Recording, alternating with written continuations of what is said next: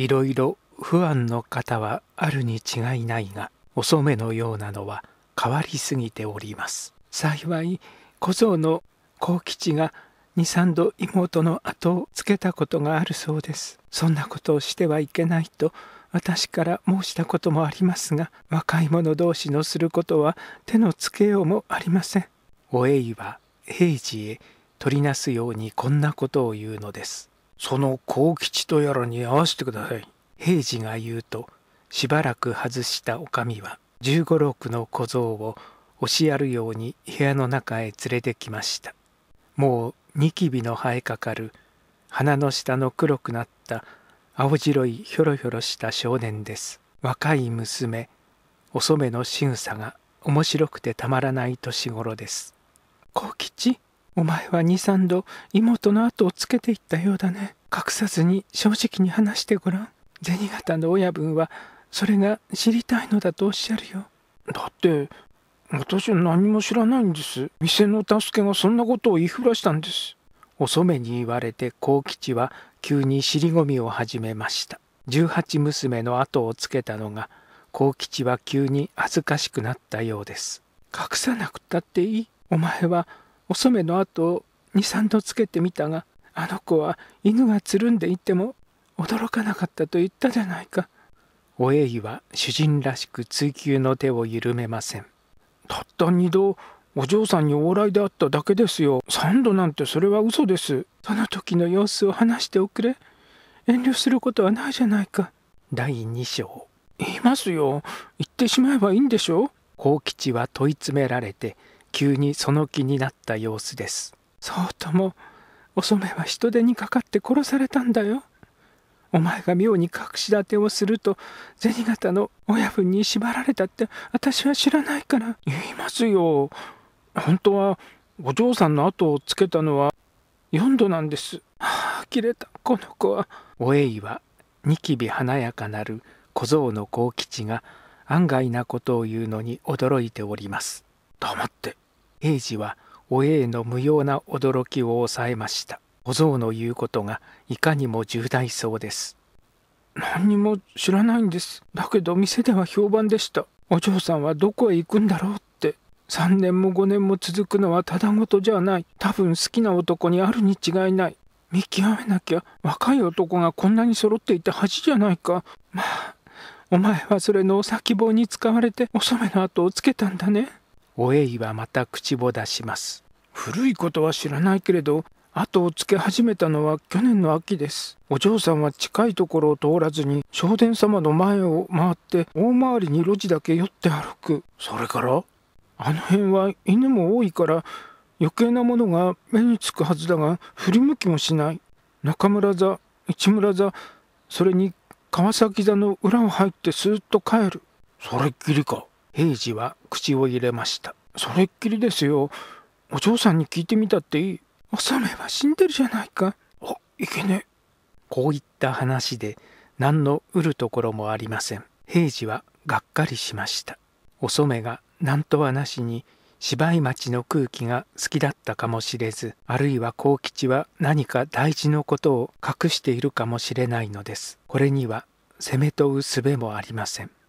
雇い人を順々に呼び出しましょう死体のあるうちに平次はこの事件を解決しようとしたのでしょう死体が始末されると人々はほっとしてしまいそうですお栄は店の方へ行きました八五郎が相手をしている大勢の奉公人を呼んでくるつもりだったことでしょう。おないに拙者はどうなることであろう。不意に人の中から声をかけたものがあります。振り返ると浪人の香川雄三郎大勢の中に所在もなく立ち混じってなすこともなくまごまごしている矢先です。ああなた様は全国のお客様。若いお栄は自分の慌てた様子がおかしいかふと笑いました香川と申します何ぞ御用で香川様拙者はこのまま立ち返ってもよろしいでしょうか。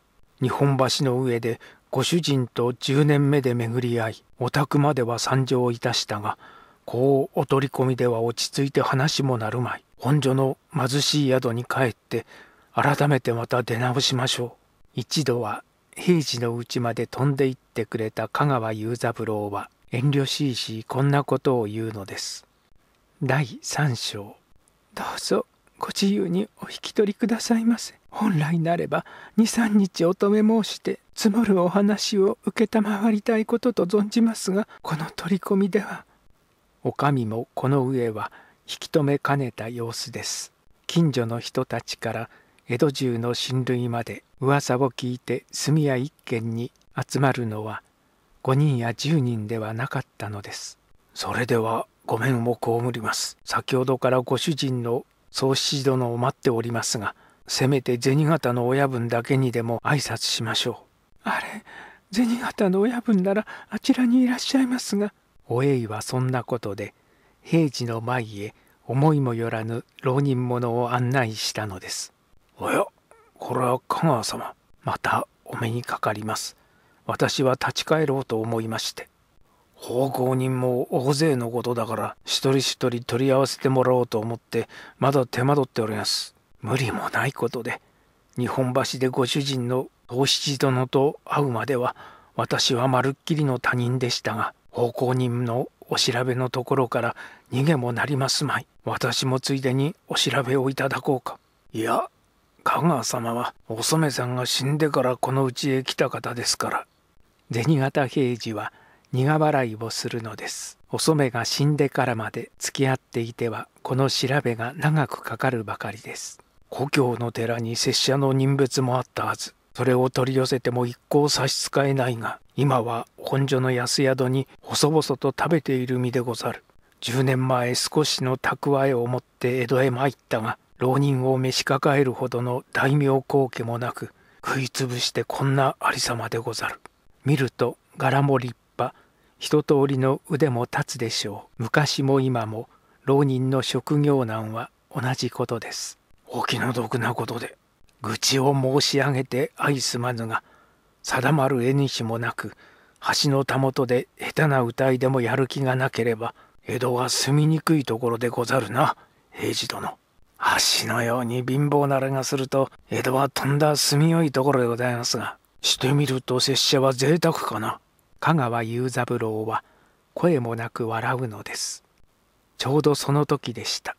お染のことに気を取られてすっかり夢中になっていた主人の宗七は香川雄三郎が帰ると聞いて慌てて飛んできました。もうお帰りだそうで香川様。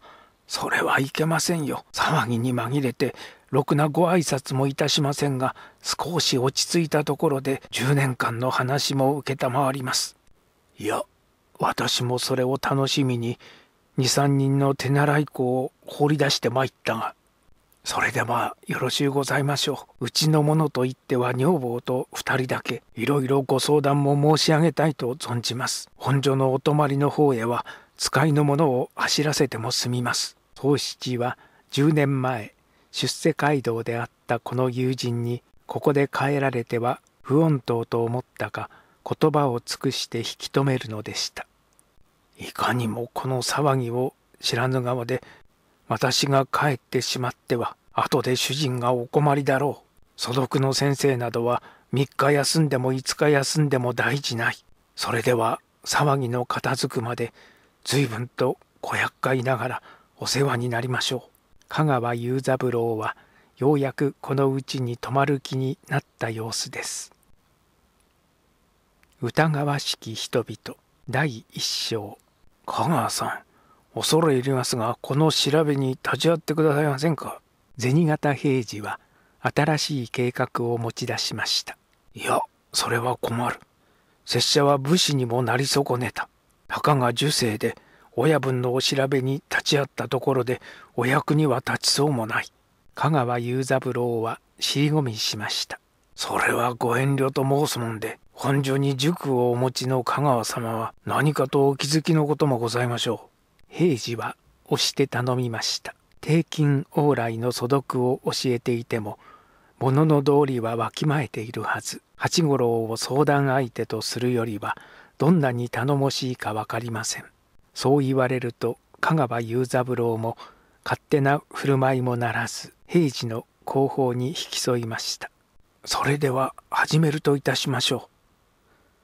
この男は番頭の徳松でございます。宗七は義理ある中のお染が殺されたのでまず店の者から紹介を始めました。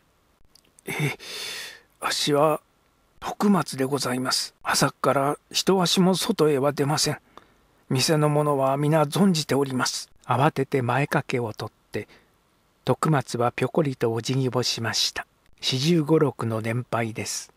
先代からの奉公で忠義を尽くしておりますが宗七は言葉を添えました。主人の宗七よりははるかに老厚の感じで年もかなり上のようです。それを先頭に手代の千代松小僧の久吉と続きます。千代松は22若くってちょいといい男で太り始めてきた中年者の番頭とはだいぶ違いますおめえは千代松と申します。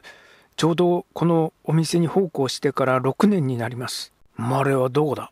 江戸でございます。親父は山下に炭屋をいたしておりますので見習いに入ったのがつい長くなりまして今日はどうしていた？あの得意回りをしておりました。秋口になりますと注文が多くなりますのでへえこの男は弁行も相当得意回りにはなくてならない人間でしょう。どこをどういうふうに歩いた？花川戸から山谷へかけて一軒残らず歩いたようなものでそれからどうした？昼過ぎになりましたので家へ帰りますとあの騒ぎで「え驚いたの驚かないの」ってそれは滑らかな良い男でした。娘のお染も18何かの関係が考えられないではありません。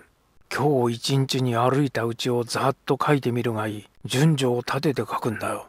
平次は妙に厳しいことを言います。この千代松という手代は炭屋の奉公人には違いありませんが妙に滑らかなところがあります。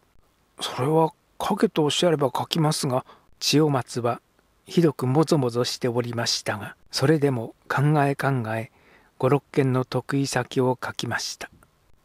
それでみんながたった6件じゃねえか。それだけ歩くのに一日もかかっているのか？ええつい話が長くなりましたのでとんだ長話だぜ。平次はそっと八五郎を呼んでその紙を渡しました。歩いたところを一軒一軒回らせるほかはありません。あとは小僧やでっちで調べることもないようです。